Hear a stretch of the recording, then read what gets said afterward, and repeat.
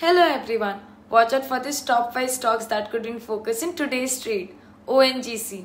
According to media reports, the company has discovered crude oil and natural gas in two blocks in Mumbai offshore. Mahindra and Mahindra. The utility vehicle maker announced 18.5% year-on-year growth in production at 58,644 units for the month of April, while sales grew 40.9% year-on-year to rupees 60,481 units.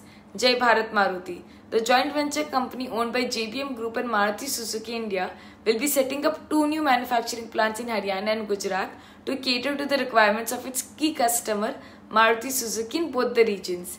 Eicher Motors. The motorcycle maker reported a 48.5% year-on-year growth in consolidated profit at rupees 905.6 crores for the quarter ended March FY23, driven by better top-line operating performance. Siemens.